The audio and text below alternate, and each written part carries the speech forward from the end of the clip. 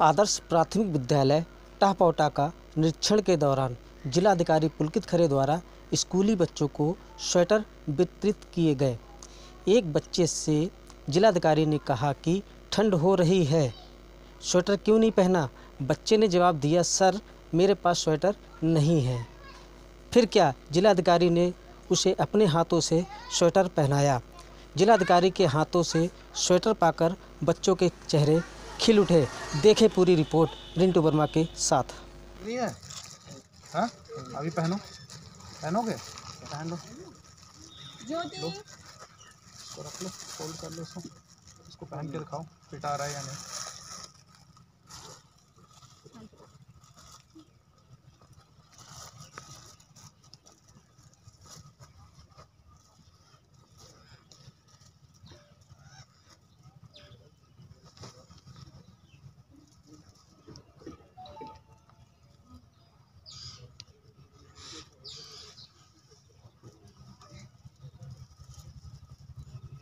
बढ़िया।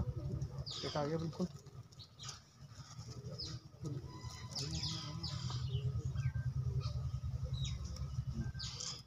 बढ़िया। ठंड नहीं लगेगी। ठीक। आज इस विद्यालय का निरीक्षण भी करा गया, साथ ही साथ स्वेटर वितरण का भी यहाँ कार्यक्रम जो शासन की तरफ़ से स्वेटर दिए गए हैं, ठंड के समय में बच्चों के लिए है, वो भी बच्चों को प्राप्त कराए गए हैं।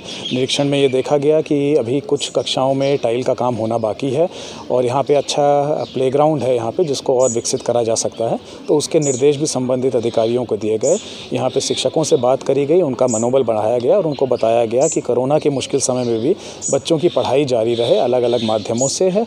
और इसी को लेके बच्चों को भी प्रेरित करा गया और उनको स्वेटर दिए गए।